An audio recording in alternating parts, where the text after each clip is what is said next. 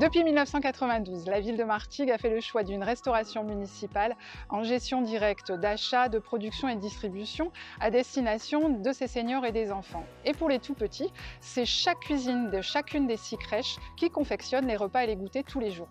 Nous sommes dans les crèches et du service petite enfance et tous les jours nous recevons des livraisons de fruits et légumes bio et locales tous les matins, on fait du jus de fruits, des petits céréales. Après, on fait la soupe avec des courgettes et des carottes.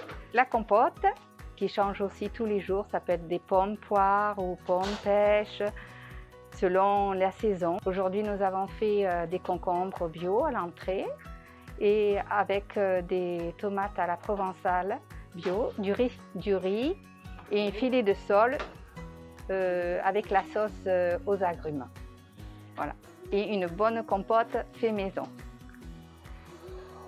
À la cuisine centrale, une équipe de 30 personnes commande, réceptionne, mitonne, conditionne tous les jours des repas variés avec au cœur des produits frais issus de circuits courts. Les recettes et les cuissons s'adaptent à la qualité des produits pour que le goût reste au centre du projet éducatif et valorise les producteurs du territoire. Entre les 19 restaurants scolaires Martégo, les 4 foyers de seniors et les 400 bénéficiaires de repas à domicile, ce sont 5000 convives qui chaque jour passent à table avec les repas de la cuisine centrale.